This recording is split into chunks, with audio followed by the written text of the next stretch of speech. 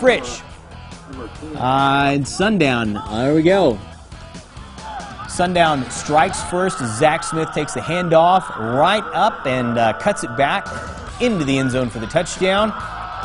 Fritch cannot handle the ball, and Sundown capitalizes off the bad snap with the touchdown pass.